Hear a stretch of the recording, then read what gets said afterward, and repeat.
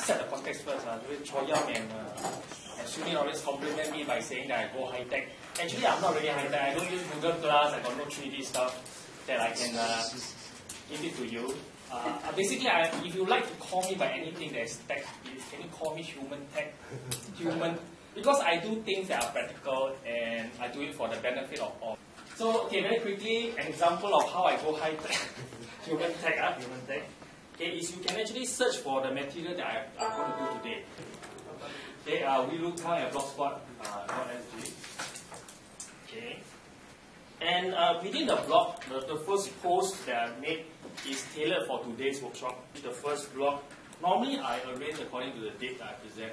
I would like to encourage you to use your personal device now. You just speak to your phone and say, uh, Singapore physics teacher. and you can go to my blog, and then you can go to the first post, okay, which you can get this. So just now, before uh, the, the rest of it I started, I already went around to get you guys to download something called uh, Nearpod, okay? So Nearpod, so if you're on your computer, which nobody or some of you are, then you can click on this link called the Nearpod link, okay? And for those of us who are Android users, click on the same link. You will be directed to purchase a free app, which you please feel free to do so because it is free. Okay, and likewise for iOS. Okay, click on any of this link uh, depending on your device. So you can see that in the classroom today, technology has evolved so fast that you can practically engage your students with whatever device they have, uh, except for non-smartphones. Okay. So today's activity, I would like to key in this code in the near Nearpod. It looks something like this. Uh. Let me just launch my my Nearpod.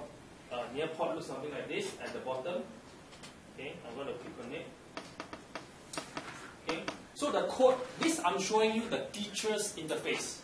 Okay, the teacher's interface, I, I have to stop moving myself too far, I guess. Okay, the teacher interface, you can see the, you need to key in the pin. So you need to key this thing called umbrella lion tango kilo x-ray as a pin. Could you kindly do that on your handphone, please? It's not case sensitive. Okay. Ah, yeah, yeah. Okay. You want to come and help me? You can slide down and do it. Slide up.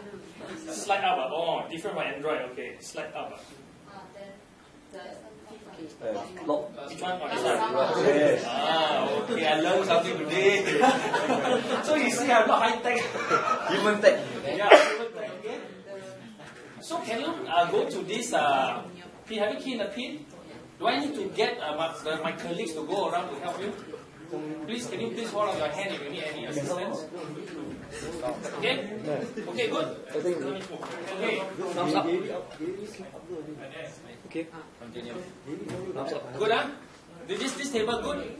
Uh, that table? Okay? Table on the extreme here, okay? You guys? Figuring out, huh? You, you held down, uh, you know already. The centerpiece, okay? Center table? Okay, Nearpod, okay. Okay, now.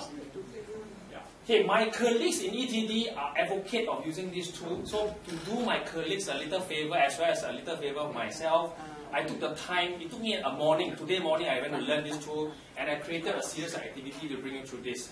So in a nutshell, what I know, I'm sharing to you, I only know it for one morning, which is this morning, okay? This is created using Google uh, PowerPoint. So I just merely uploaded it. Okay. From what I understand, the student can navigate within any of the slide positions. Okay. So I have no control over this, I believe. As I as I slide this, you can you can go to different pages. Okay. Now, what I find particularly useful is this feature. Okay. So in addition to giving your students a material up front, something like a flip classroom kind of stuff, you go to the next page. This is the teacher interface. Huh? So as a teacher, you'll be able to do this if you get on account.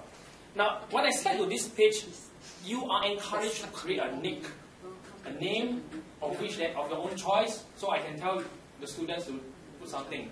Okay, if you like to be God, uh, this is the time. Okay, any nick you, you like. Okay. Okay, okay. and you can see instantaneously it will show up uh, of this key. I mean, it must be spontaneous. If not, I cannot show the game. I mean, I cannot show and tell. Must begin. So you can see, oh, see Batman. Oh, Wow, wow, good. Ben. Yeah, he's gonna Okay. Triple F. Ben, okay. These are some of the examples that your student need to do. Okay. Fast, fast and furious. So if you are easy going like me, then okay, like anything goes. But if you are a little bit more um, strict and regimental, you may want to create a system, okay, uh, which I will not uh, showcase today. Okay. So I need most of you to key in. Okay, I will not hold up the whole class. So I have 19 logins. Okay. And I will not hold the class. I will just proceed. So I'm forcing the class to proceed. Huh? Okay. Now I design a particular URL. So one of the things I go to school is this. The teacher say, "Wow, student, you please key this tremendously long URL. No need. You see Nearpod, basically you just create it once. The student are forced to come to this page. Okay. Now uh, as a skillful teacher that all of us are. Okay. I can now guide you to go through certain activities. For example, I can ask the student to click play, and it simulates the physics involved. So this is a horizontal spring mass system, which then you can then have the world view, which is something where we like to emphasize on, which is physics and teaching and learning. Okay. And this is a scientific representation, which you can of course uncheck. I can click on this uncheck. Okay, and it only shows you the world view. I can check on it, it shows on both. So is this complementary uh, representation that we believe strengthens the physics learning? So when you design your own simulation, you need to have this kind of consideration in your mind. After an activity like this, how do I know the student have learned? Okay, this Nearpod, I'm not a salesman for Nearpod by the way. Uh, this near port, in my own personal assessment, is quite good. Okay, so you can consider looking at it. So I can guide the student to do certain activities, then I will ask them, Okay, I will now force you to do this. Huh? Okay, let, let, let, me, let me read the question first. What is an appropriate model for SHM? Time 0, initial displacement 0, initial velocity 2. Okay. Now I come back to the simulation. Okay. This is the selection bar of which we will guide the student to try. Okay, there are various activities the student can try. So it is the preset one. So I will now click play. Okay. So now you can now understand. So the student can play other scenario, but the assessment I want to test whether the student can understand this particular graph, which is a typical sine graph. Okay, so uh, as skillful student, okay, we have five correct, five incorrect, and 90 have not answered. Okay. Yeah. So this is the teacher interface. The student sees something else, which is what you're saying. Okay, they only see their own isolated cases. Uh, but I think this has certain strength. Okay, for example, the strength of this is straight away, immediately, it is something like what uh, NIE uh, folks have been trying to do with uh, physics education, which is the clicker system. Now, this is completely free. If you want to pay, you can carry on and pay the. You I, but it, there's a paid version now, okay, for bigger classroom and all that. But this is something that I thought worth sharing today. Okay, for the beginning teachers, I think this is something you go back, you share with a senior teacher, like what the lead teacher and senior teacher said. Uh, all of us are all pretty much learning from one another. So I'll be pretty amazed uh, if your lead teacher say, I already know, which is very unlikely because everybody doesn't know something. Like I do not know a lot of things as well. Know, like the, the orientation law. Okay, so this will give you a glance at what are the things that can potentially go wrong. Then you can address the misconception here and there. Okay, so without, uh, so the answer is actually C. Yeah, answer is actually C. Yeah. Okay, let me let me come back. Oh, as a teacher, I can't see the options. Uh. Okay, I designed it, so I roughly remember it was C. La. It was, I think, 2 sine T, right? Correct? Yes. Uh, 2 sine T, yeah? Okay.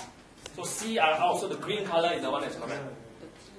Okay, now, most of us are not particularly fascinated with MCQ because MCQ tests a very narrow set of skill set and there are four choices of which there's a 25% chance the answer is correct. So this Nearpod, actually, uh, let me show you again. Uh. Okay, I have designed it such that uh, you can now click on play. Okay, it goes on to show you the simulation. Okay, and I can actually invoke different graphs. Like for example, I click on this purple one, is kinetic energy versus time.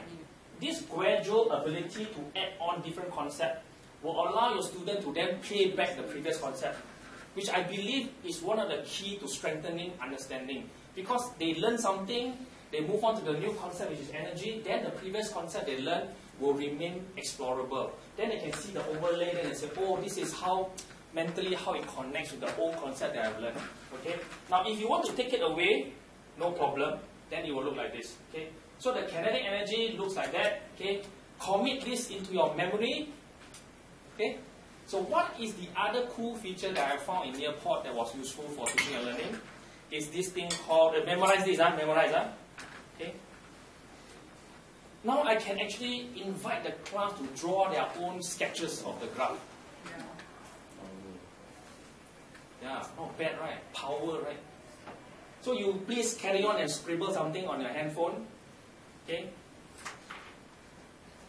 And every student, I guarantee you, cannot give the exact answer. Because everybody will have a slightly different way of drawing things. And I created a template. So there's a graph which I don't draw anything. Then you can then allow the scaffolding. Okay? So pretty nice. Okay, now you can see Okay, the first one. Okay, pretty nice. Okay, but I think I was asking for kinetic energy. Uh-huh. So then you can, like the like the skillful teacher that you, you know, like Anwar and, and a couple of us have been advocating, then you can point out what could possibly allow negative KE. Then, you know, you confront a misconception. Okay? And with this graph, okay, another one, negative kinetic energy, is it possible? Okay, ha ha ha, we have to landscape. This one also draw pretty nicely. Okay? Okay, so can I then I can as a skillful teacher I can ask uh, Hello Kitty to explain why is this a sharp point. Of course I will not do it lah. We are all uh, teachers. We are also short of time, so I'll just proceed. Huh? What's this a star? Okay, so you can see there are a lot of creative answers. Not only physics answers are presented, even stars are presented. Okay. Still seeing stuff. Yeah, can I proceed? Are you impressed by uh, what is being presented so here? how would you yes. deal with students who give you such answers? How? Uh, Yeah, that's just- laugh it off. But I I guess there should be a function to let them resubmit their response. Okay, you have to ask Nearpod. Okay. Yeah. But it's a good suggestion, by the way. Yeah. Yes. So related to that, will, will all these uh, images and responses be stored? Okay, uh, I don't want to go there, but since you asked, Not in the page. yeah. There's a way for you to export this as a PDF, I think. Yeah, as an administrator, which is the teacher, you could archive this, uh, but it's a PDF.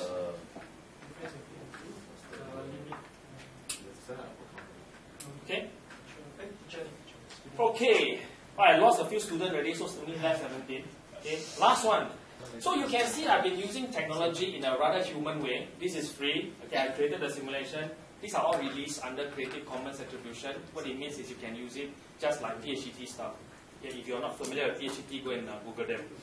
Okay, so this is one of the pedagogical strengths in the design of the simulation that I've been trying very hard to impress everyone to, to use. Okay, so I've talked to Rafi, I've spoken to Chor at some extent, and, and, and Surin.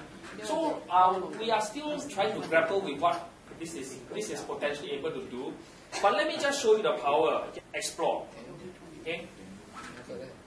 So in this no damping scenario, this vertical spring mass system, which is a car suspension model, can create this particular graph. Okay? Okay, now we give it some time. Okay, so we provide some think time. Now, how can I be sure that the student understand the physics? One way, not the only way, but one way is to use maths to describe it. Now, how do I implement this design? There's this thing called uh, your model.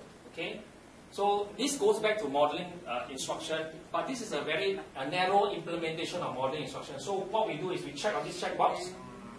Okay, the model will overlay itself. Okay, now we invite the student to select a model. I think the model is this. I think the model is this. Let me click play. Okay, and you can now see the power of the sim. It simulates not only the simulation, it also simulates the model that the student proposed. And because of the discrepant motion, it gives the student evidence to suggest whether he has understood the concept correctly in his model, which is 3 sine, uh, which is, this is pi over 2 times t. Okay? So this actually then will be something that a skillful teacher will come in again and then engage the student or you can get them to, to discuss and then come up with a better way. Because obviously no no student will say it's exactly the same, right? Am I correct? So then we propose a different model. Okay, for example, this one. Okay, and by some miracle, it is a perfect match. Yes, it's correct. Now, if the student had chosen this model, okay, he must have understood something. Either he did by trial and error and then he got it correct, okay, or he actually understood the significance of this number called 5, which is the amplitude.